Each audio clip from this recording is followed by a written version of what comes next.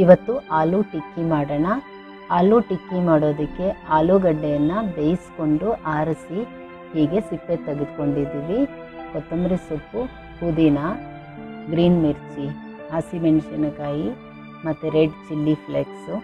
ಇದನ್ನೆಲ್ಲ ಈ ಆಲೂಗಡ್ಡೆ ಮೇಲೇ ಲಿಂಬೆಹಣ್ಣಿನ ಜ್ಯೂಸ್ ಹಾಕ್ತಾಯಿದ್ದೀನಿ ರುಚಿಗೆ ತಕ್ಕಷ್ಟು ಉಪ್ಪು. ಇದನ್ನು ಚೆನ್ನಾಗಿ ಮಿಕ್ಸ್ ಮಾಡ್ಕೊಳ್ಳೋಣ.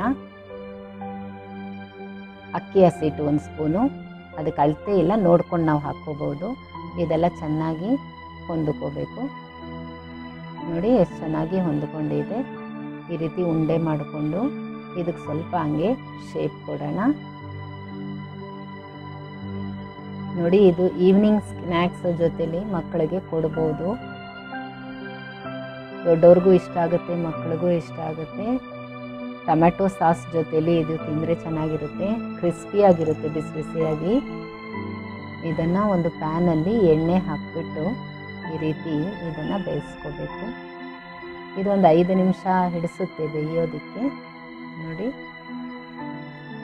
ಎಷ್ಟು ಚೆನ್ನಾಗಿ ಕಲರ್ ಬಂದಿದೆ. ಆರಾಮಾಗಿ ನಾವು ಮಾಡಬಹುದು. ಈಸಿಯಾಗಿದೆ. ಜಾಸ್ತಿ ಇಂಗ್ರೀಡಿಯೆಂಟ್ಸ್ ಇಲ್ಲ.